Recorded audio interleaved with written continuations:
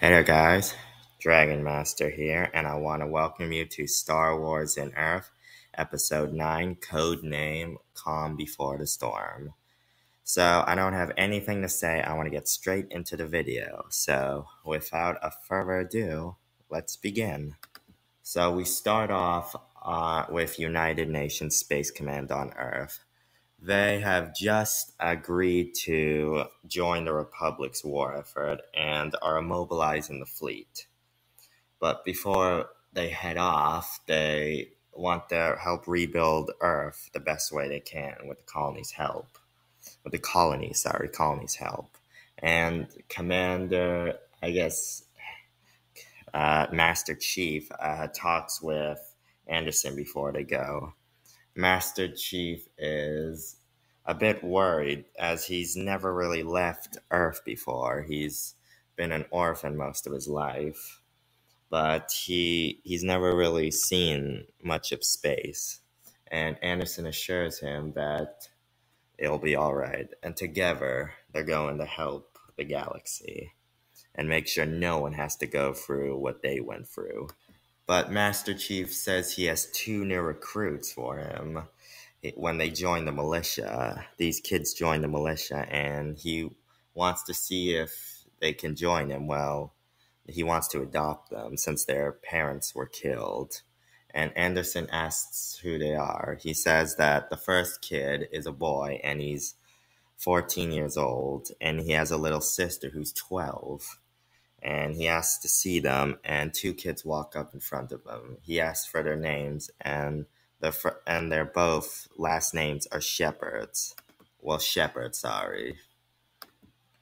They are both Shepard but they don't want to say their first name and anderson understands they lost their parents. So he decides to join them up with his basically like ship well fleet he has of ships along with all the militia that he all the militias on earth when the separatists invaded. Also coming with them are the padawans and jedi to the other temples on the colonies.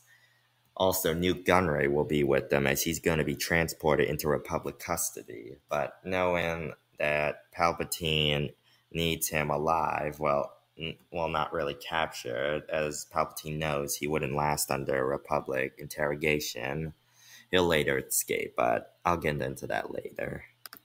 They head to Coruscant, drop Nute Gunray off, which a week later will escape from prison, and all the Padawans and young ones are at the colony, other colony temples. So they embark with their fleet and head off to the war zone. So now we get into the Clone Wars more. But Terrans in the Clone Wars, now that they had joined, since it's year two, they would mostly focus on covering the fronts that the Republic couldn't cover, as the Republic was busy in the outer and mid rims. They would cover other fronts that the Republic couldn't cover, along with helping the planets that the Republic basically took back from the Separatists. They would offer aid and supplies, along with Jedi volunteers this would help improve the relationships with uh, with the Jedi and the people, along with the civilians of the planets. Well, I guess the people of the planet seeing the Terrans as their saviors more than the Republic. So the Terrans would be all would basically be at all sorts of battles. They would be at the Battle of Umbara. They would take place in that invasion. They would also take place on when Mon Cala was attacked by the Separatists they would also go on missions with, well, basically the Master Chief, his young rookies, both the Shepards, would go on missions with Anakin, Ahsoka, and Obi Wan when they, or other Jedi Masters when they had free time. Master Chief and both the Shepards uh, were amazed at how space was. They hadn't left Earth that much. Well, the two hadn't. Master Chief really hadn't left Earth at all, and he was amazed. Also, in in the space battles, the Separatist and Terran's fleets were evenly matched, with the Terrans having a slight advantage with their more stronger weapons, breaking through the Separatist shields with ease.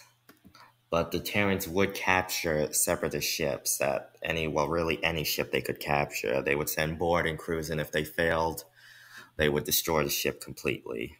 By using the nukes uh, they brought with them and leaving on the ship if they failed. Also, I want to say, in case you question why the nukes worked in space effectively, the Terrans upgraded them. I forgot to mention that in the last video.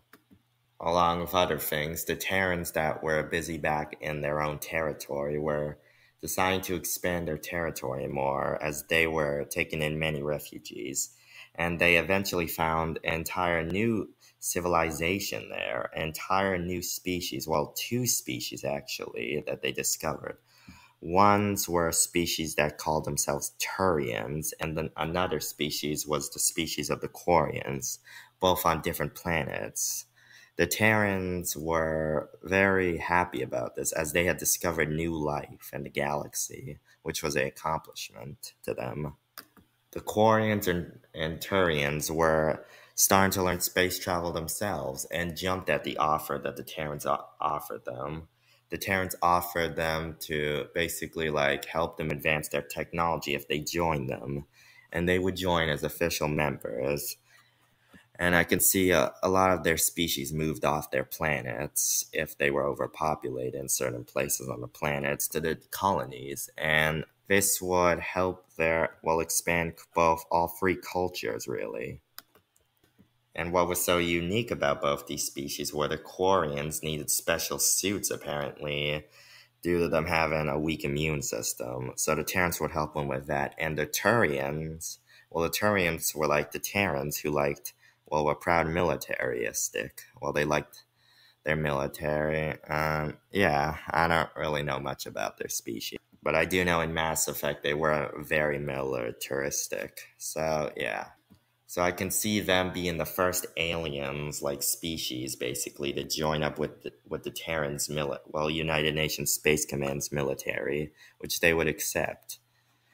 So yeah, on other news on Coruscant, Udina was making friends in the Senate. Now that the Terrans had joined the war effort, they were making a lot of friends in the Senate. They received much sympathy after the Separatists attacked them unprovoked, and the Separatists were getting a lot of backlash because of it. Udina would join up with Padme and her group of senators, trying to basically bring peace to the war and he would become better friends with Padme and Padme, and they would be good friends, along with him being friends with Senator Bail Organa and Mon Mothma of Chandrila. But on other news, Palpatine wasn't happy. Palpatine knew the Terrans were spying on him.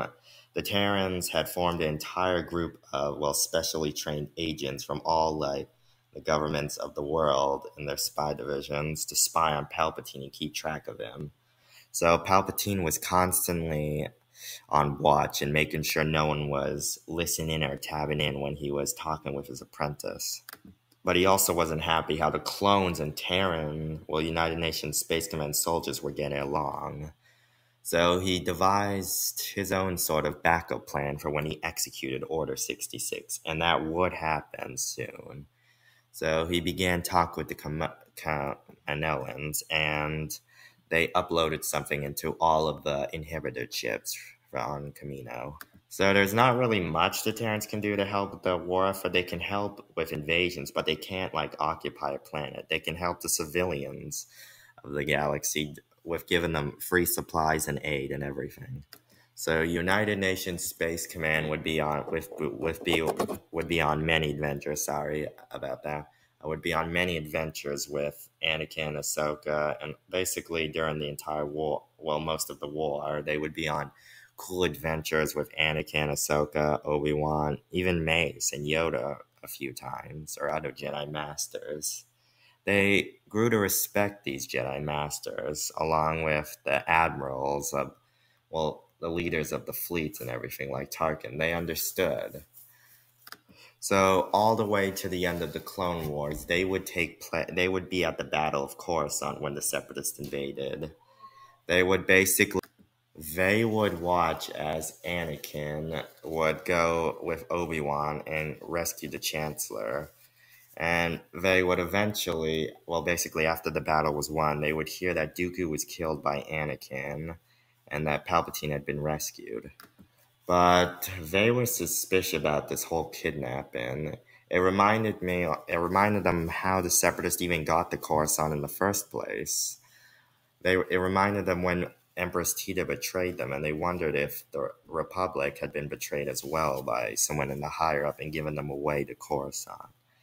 So with Dooku dead, they know the war was coming to an end. So Master Chief Anderson and a much older Shepard, a couple years older Shepard, along with his sister, would come to talk to Anakin about the whole ordeal and find out what happened. And they were surprised when Anakin told them that Palpatine told them him to kill Dooku, and it was the right thing to do. So they were suspicious, but they were also happy for them, as Anakin had told them that Padme was pregnant. Anakin had become good friends with Master Chief and both the Shepards, the kids. Well, I mean Shepard and his sister. So they would head back to the ship and talk to Anderson about it and Hackett as well. So they would agree to have double watch on Palpatine. But little did they know that their troubles on Palpatine was only beginning, and that is where we are going to leave off. Uh, I want to say a few things. So, in the next episode, if you're wondering, it will be taking place most of the events of episode three of, of I mean, episode three of the Star Wars movies, uh, Revenge of the Sith. So that's really what I wanted to say. Um, so yeah, um, please subscribe to the channel and comment down below. And thank you for watching.